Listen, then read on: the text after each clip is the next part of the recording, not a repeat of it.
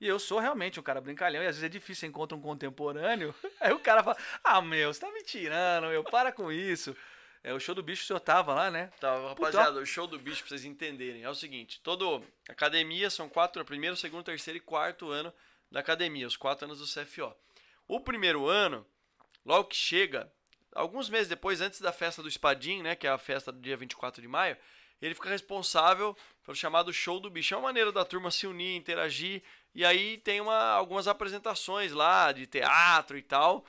Enfim, Foi polêmico. que o cara vai lá e fala alguma coisa. É uma zoeira. É, é, é, é um ambiente de zoeira que a turma de bichos lá, por isso que chama show do bicho, o primeiro ano é considerado bicho, ele realiza, né? Rapaz, mas a turma do Matos exagerou na dose, velho. Pouquinho, passou um pouquinho. Caraca. O, é coronel hoje, hein? Coronel Hélio, pô.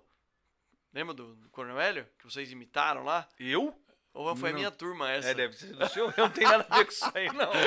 Não, o Pegorete imitou o Silvio Santos, né? Tem um capitão do Isso, Águia, o Pegorete lá em Sorocaba. Meu cara imita o Silvio Santos de maneira Igualzinho, brilhante. Você tá de igualzinho. costas, você acha que é o próprio Silvio. Foi muito legal, só que eles exageraram na dose um pouquinho, né? Não sei se vai poder passar, né? Mas se puder Você passar. tem vídeo da época? Puta, eu tenho. Todo Manda. mundo da minha turma. No que Tem. manda, não faz isso. Não, manda pra gente colocar uma- um trecho que pode, pô. É o trecho que pode, sim. Eu lembro que o pessoal brincou.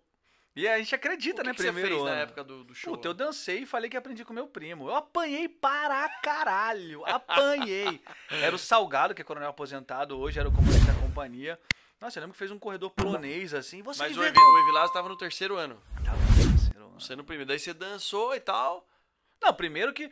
é, não sei se o senhor fez assim. Quando eu fui pra academia, eu- antes de entrar no Portão das Armas, o primeiro dia, que entra de terno, Aham. eu dormi um dia antes, que eu fui com meu primo. A gente tava na academia, fui com ele de carona. Durante a noite, eu sofri vários ataques soviéticos, vários.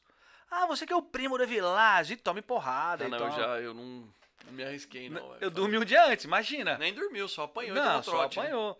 E... e meu primo é zoeiro também, pra caramba. Zoeiro. E aí foi um negócio muito complicado, porque o pessoal falou, você tem que zoar seu primo. Eu falei, mas eu não sei como zoar meu primo.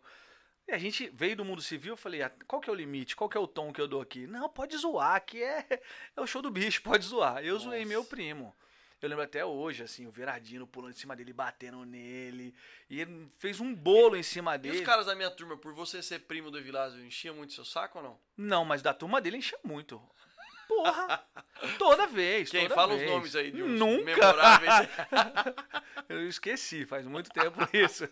Mas é, a- nossa, muito, muito. Por causa do meu primo, não, não exatamente culpa dele, obviamente, né? Mas é- é- tem esse ambiente acadêmico. A gente leva muito a sério, a academia ela é muito séria. Ela transforma menino em homem, sem dúvida nenhuma, né? Muita gente que entrou com, acho que o senhor entrou com 18, 18 anos. e sai com uma maturidade pra liderar um. Não, com um 22 anos eu tava comandando o policiamento noturno em Osasco, pô. Então, assim. Mas a gente não deixa de. Não deixa de ser o Guilherme, não deixa de ser o Bruno.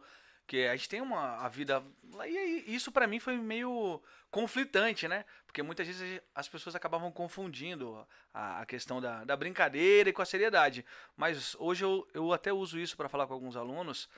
Que eles acham que tem que se amodelar demais. Não, seja você e o profissional você faça bem feito.